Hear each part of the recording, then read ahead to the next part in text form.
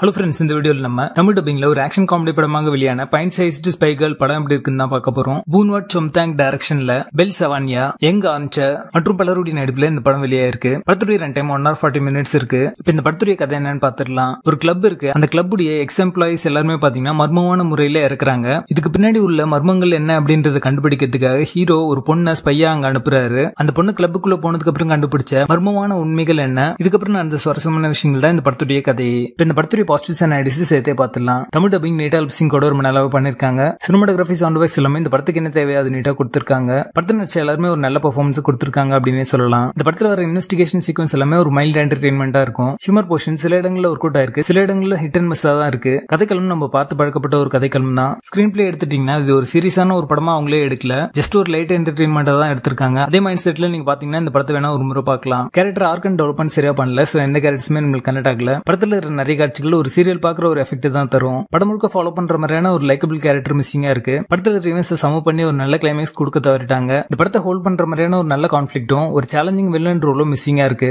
பிரெடிக்டபிலிட்டி factor இந்த படத்துக்கான இன்னொரு மைனஸ் அமைஞ்சிருக்கு. படம் ஆரம்பிச்சு முடிகிற வரைக்கும் இப்படிதான் நடக்கும் அப்படின்றது நீங்க கெஸ் பண்ற மாதிரி தான் அமைஞ்சிருக்கு. படத்துடைய பேசிங் ஆவரேஜா இருக்கும். மொத்தத்துல இது ஒரு பில் ஆவரேஜ் ஆக்ஷன் காமெடி படமாக வந்திருக்கு. படத்துல அடல் கனெக்ட் இருக்கு. இந்த படத்தை நீங்க ஃபேமிலியோட பார்க்காதீங்க. பிண்ட் சைஸ் பைகள் படத்துக்கு எங்களோட rating four point five out of ten